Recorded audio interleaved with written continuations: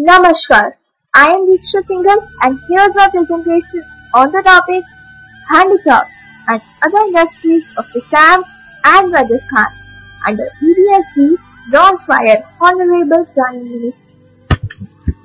Assam, the gateway to the northeast, along with its breathtaking scenic beauty, is also known for its handicraft and few other industries. Some of its famous industries are cane and bamboo craft, bell metal industry of Sarthebari, fireworks crafting Barpeta, and oil industry of Assam.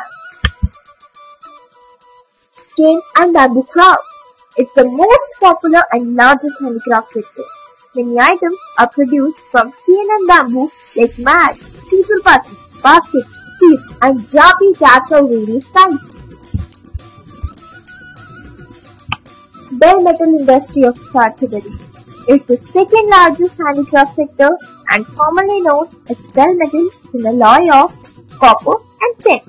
Common articles made from bell metal in Assam are kala, sarai, kahi, baji, lota and tar. Fireworks crafting Barpeta. The production of fireworks including in the period between Durga Puja and Deepavali. Usually they are produced in small units using traditional hand tools. Oil industry of Assam. Digboi in Assam is the oldest operating refinery in India. Assam is the leading producer of onshore crude oil.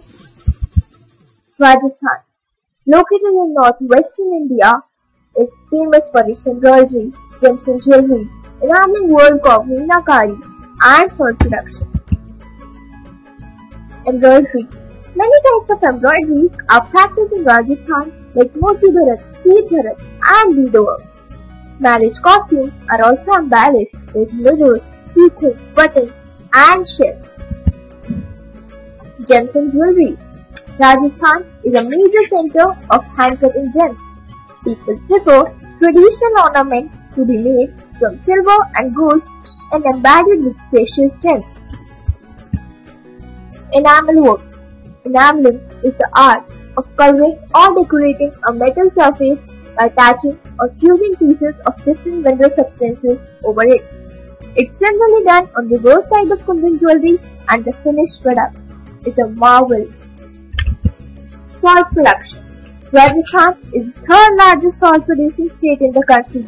Sambhar Lake was once India's largest salt lake. Thank you and I hope you now have an idea of vibrant handicraft and other industries of Assam and Rajasthan.